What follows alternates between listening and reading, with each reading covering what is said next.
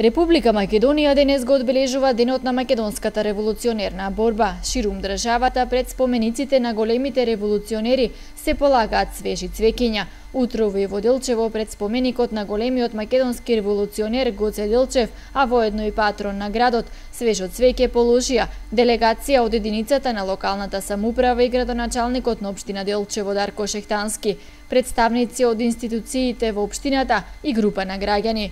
Во историјата на 23 октомври 1893 година во куќата на Иван Хаджи Николов во Солун, Христо Татарчев, Даме Груев, Петар Попарсов, Андон Димитров и Христо Ботанджиев беше формиран Македонскиот револуционерен комитет, од кој подоцна произлезе внатрешно Македонската револуционерна организација или внатрешно Македонско Одринска револуционерна организација. Организацијата се бореше за ослободување на Македонија со собствени сили без помош од надвор. Формирањето на ВМРО значеше почеток на организираното македонско револуционерно движење, кое преку Илинден 1903 и Крушевската република, преку Народно-ослободителната војна, резултира со создавање модерна самостојна македонска држава.